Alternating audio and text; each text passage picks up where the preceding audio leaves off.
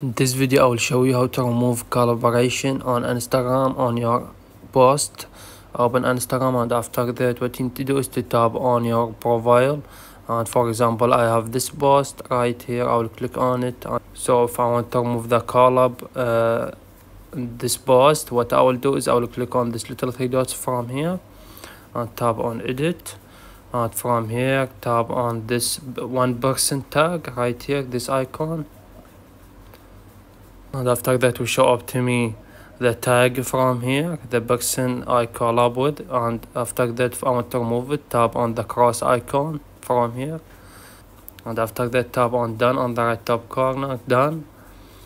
And pretty much that's it. This is how we do it. Please leave a like on the video. And if this video helped you out subscribe to our channel. Thank you for watching